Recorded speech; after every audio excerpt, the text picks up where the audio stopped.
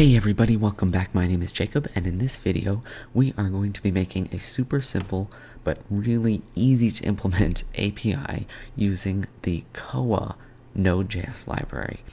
Now, Koa is a library that's similar to Express. You can use it to do pretty much the same stuff, and actually, some of the developers who worked on Express now work on Koa, so that's cool. Um, so, we're going to be using Koa.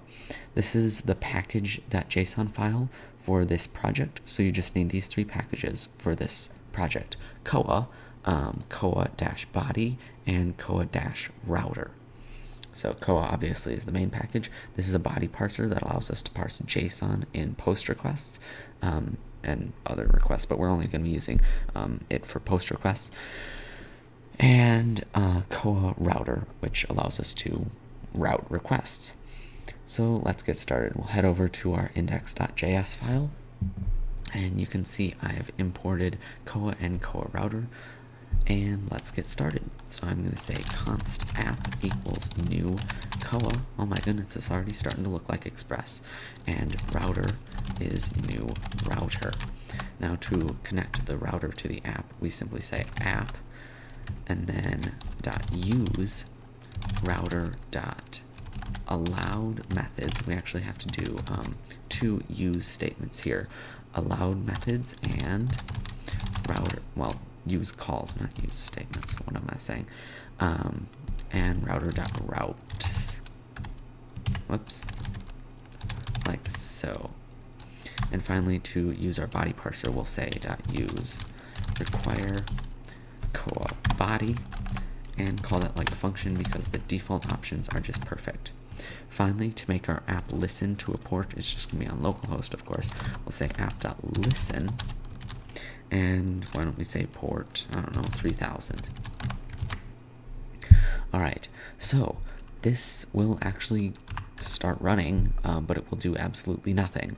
So I'm not even going to bother showing you doing it nothing, showing you it doing nothing because that would be boring. So we'll get right down to business and well, when you're making an API like this, chances are there's a database or some large source of information at the other end. Most of the times it's a database.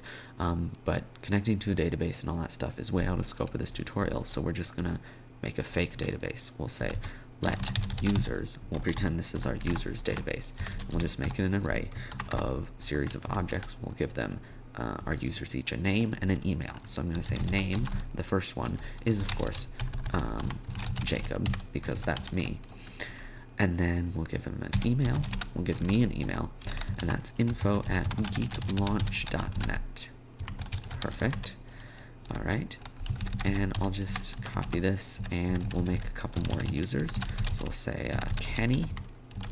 It'll be uh, info at, um, no, we'll say Ken, Kenny at example.net and Joe. Let me Joe at example.org. Um, Lovely. So we have Jacob, Kenny, and Joe are our users. Now we have to make an interface, uh, an API, basically, uh, with our router. So I'm going to say router.get. Now this is the HTTP method. You can actually see right here in the little helpful hint it gives me here. It says the HTTP GET method. So router dot get. So this will accept any GET requests to the given path. So if I just give it a slash, that path is going to refer to localhost 3000 with or without the slash because they refer to the same thing. But as I add things to the end of this, like say user then that will refer to user. And if I add ID here, it'll say user ID. Perfect. That's exactly what we want.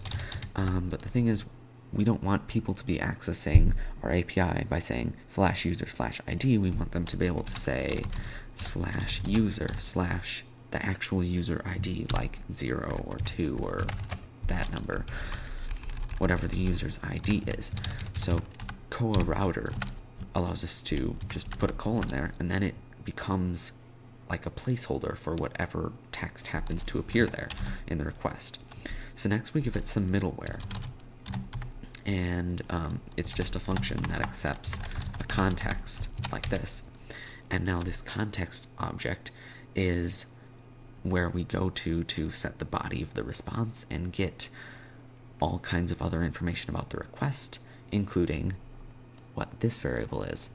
So what I want to say here is ctx.body, that's the response body, and we'll set it equal to users, and we'll just do a simple index um, based on whatever this is.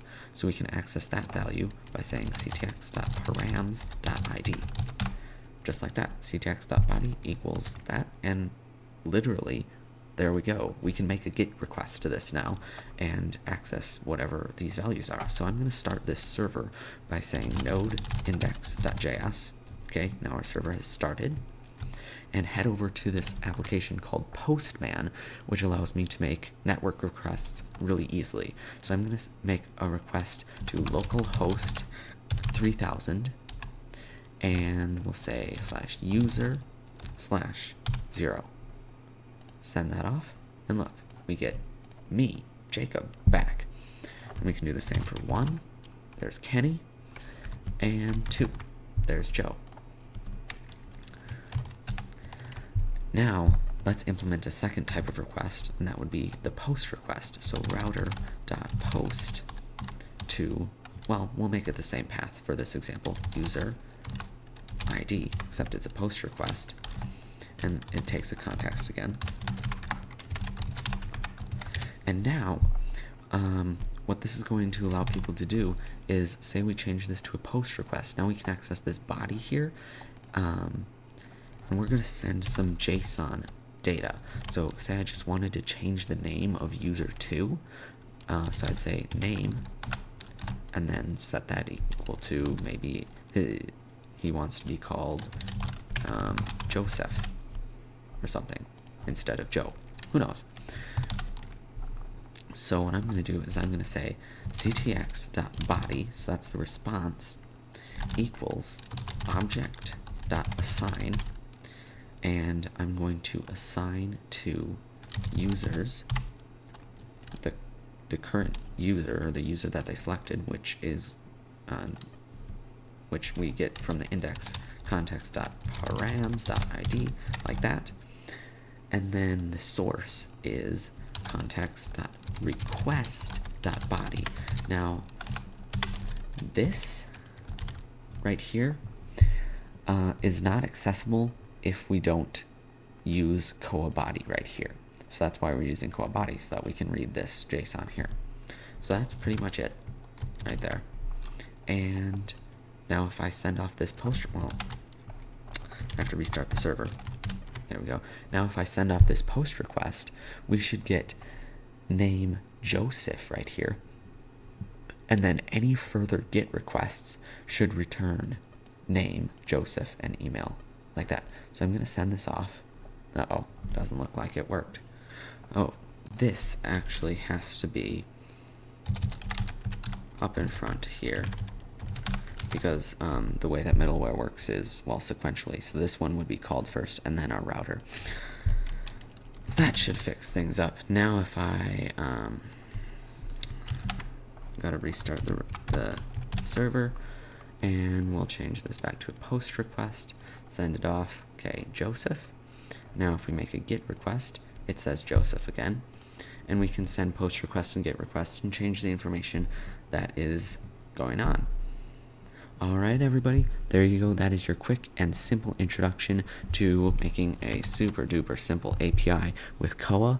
Eh, I'm actually building a larger project with Koa right now, and I absolutely fell in love with the package and totally just wanted it to share it with you guys. Thank you so much for watching. My name is Jacob, and have a good one.